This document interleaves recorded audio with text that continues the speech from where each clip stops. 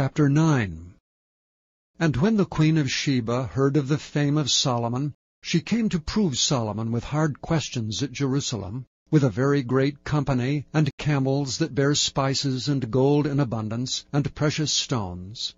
And when she was come to Solomon, she communed with him of all that was in her heart. And Solomon told her all her questions, and there was nothing hid from Solomon which he told her not.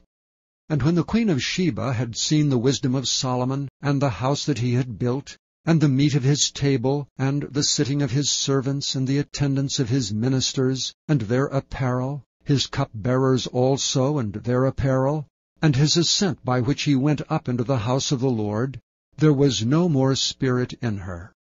And she said to the king, It was a true report which I heard in mine own land of thine acts and of thy wisdom.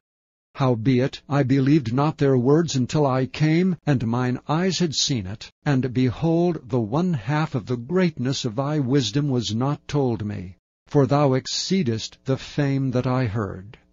Happy are thy men, and happy are these thy servants which stand continually before thee, and hear thy wisdom.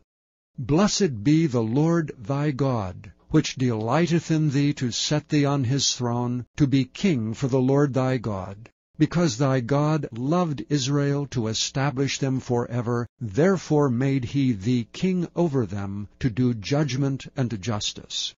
And she gave the king an hundred and twenty talents of gold, and of spices great abundance, and precious stones. Neither was there any such spice as the queen of Sheba gave King Solomon.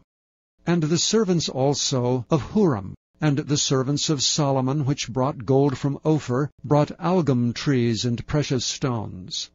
And the king made of the algum trees terraces to the house of the Lord, and to the king's palace, and harps and psalteries for singers. And there was none such seen before in the land of Judah.